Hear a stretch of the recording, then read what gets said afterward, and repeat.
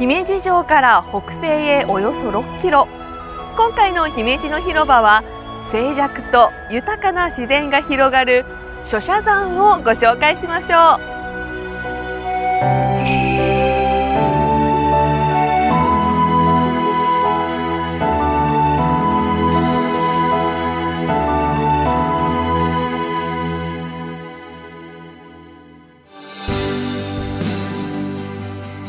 標高は371メートル。山上には平安時代の初めに聖空上人によって開かれた古刹諸社山円行寺があります。天台宗三大道場の一つで西の比叡山とも呼ばれ最盛期には170ほどの達中があったそうです。円行寺が西国三十三所観音霊場の27番札所でもあることからこの山には多くの人が訪れています。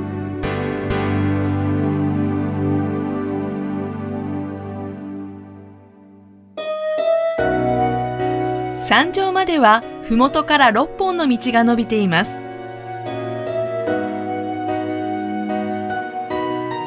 こちらは東坂の参道口です。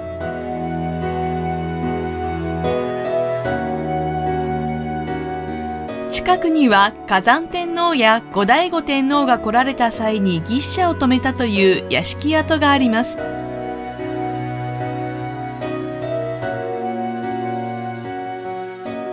諸社山に向かう道筋は立町と呼ばれかつては巡礼宿やお店が軒を並べていたそうです。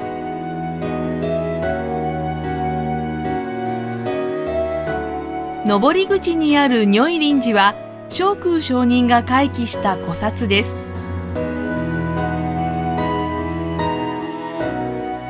応永5年諸社山は女人禁税となったためこの寺の傍らに女人堂が建てられ女人巡礼の札所とされました。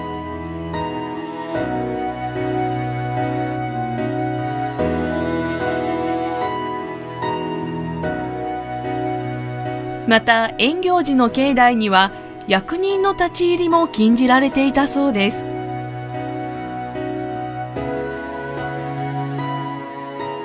如意林寺の裏手に道しるべがありました。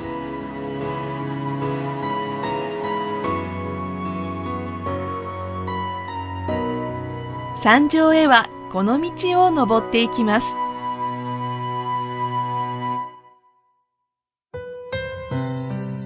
続いては西坂です。聖空上人が改ざんの時に登ったと伝わる道です。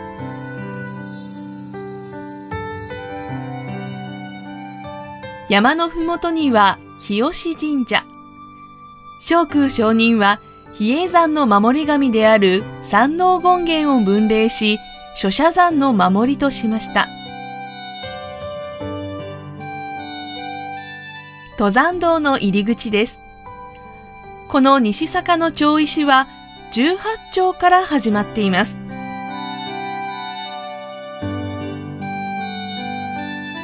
ここから七曲りと言われる道を登っていきます。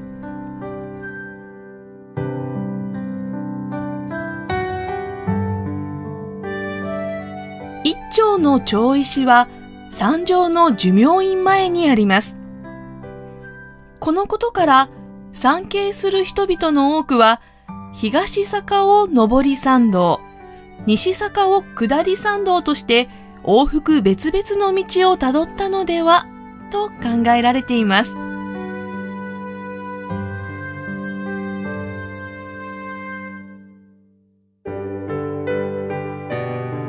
山の西側、六角から伸びているのは六角坂。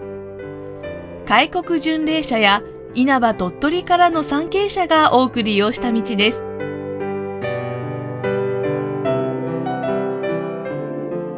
子猫に誘われて道を進んでいくと、木立の中に六角という地名の由来を伝える碑がありました。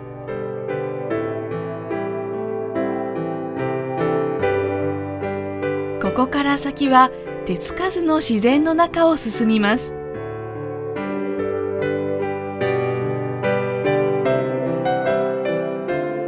道は山上で湯屋橋に至ります。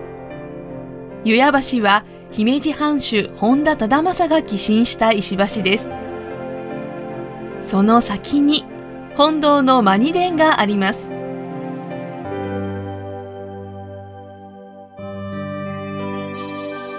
そのマニ殿の東側から北東の山裾へ抜ける道は沖潮坂。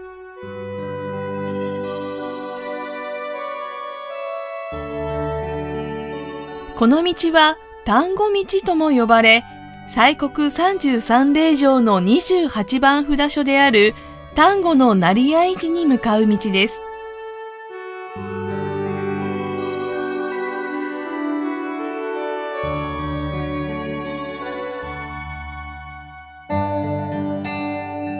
続いては刀出坂です。近畿自然歩道の一部になっています。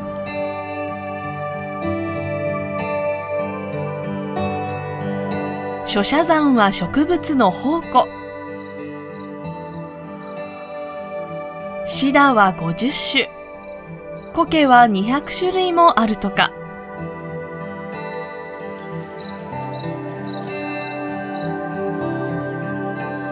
鳥のさえずりも聞こえてきます。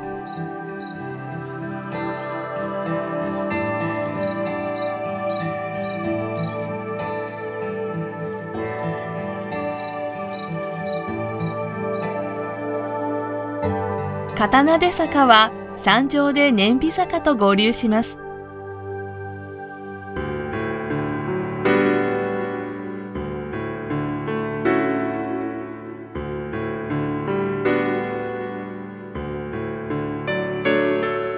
シダが生い茂る道を下っていくと、地蔵堂がありました。そこから北へ3、4キロ。遠行寺の開祖、昇空上人は晩年、諸社山を仰口に草案を結び、98歳で入滅したと言われています。草案はその後、弥勒寺となりました。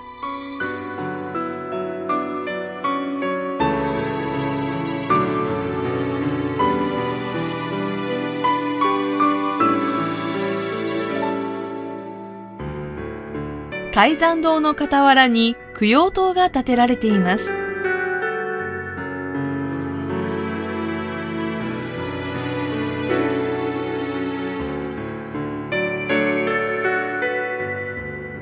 念美坂は昇空上人を慕う人々が諸社山から弥勒寺へ向かう道筋だったのかもしれません。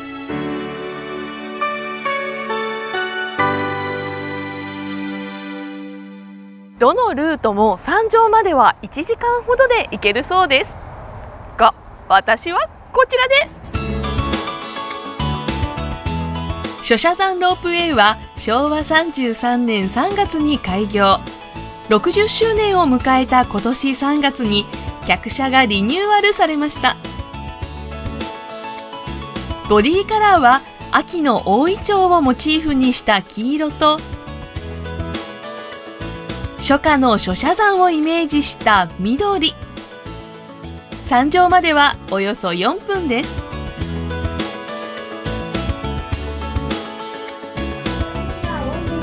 どうぞ景色一緒にお楽しみくださいませ。乗務員さんのガイドを聞きつつ市街地を眺めながらの空中散歩。窓が大きいので視界が広くて爽快です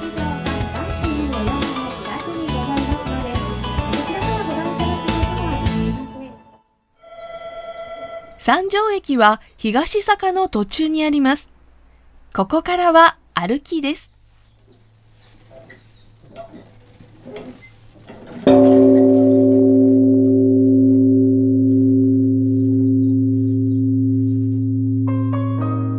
心の鐘の右側の道を進みます。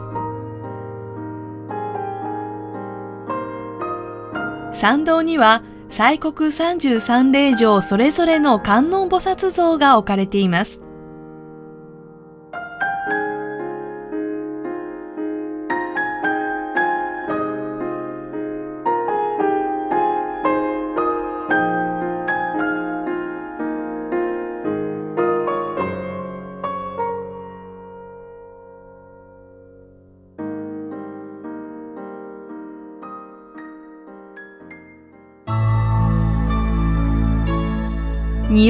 までやってきました。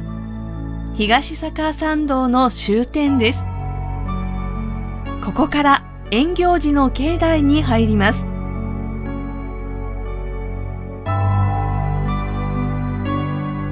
円行寺の境内は国の史跡。見応えのある建物が立ち並んでいます。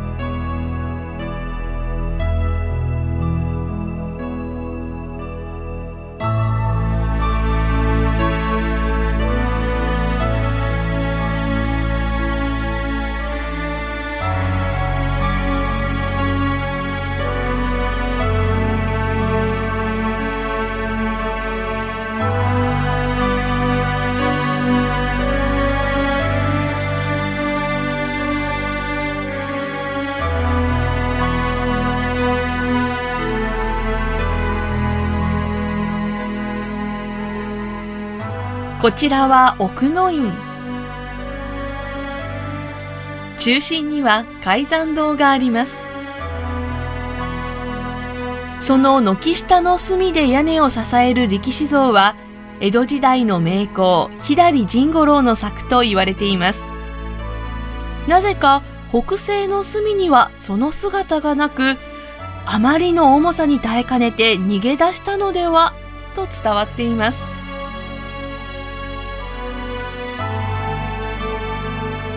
海山堂の傍らには聖空上人に仕えた二人の童子を祀る御宝堂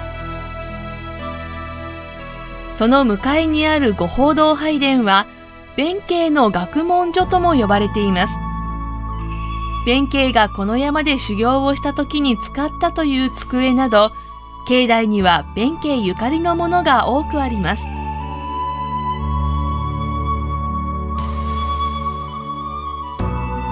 寝ている間に顔にいたずら書きをされた弁慶は、井戸の水に映った自らの顔を見て、劣化のごとく怒ったとか。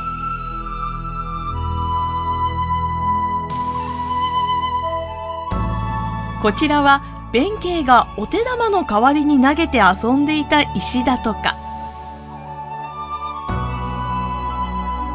また、東坂の途中にある岩場は、砥石坂と呼ばれ弁慶が金属を研いで縫い針を作ったという話が伝えられています。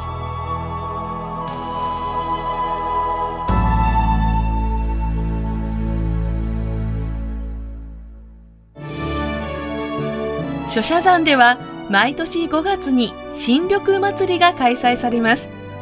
重要文化財の特別公開などもありますのでこの機会にぜひ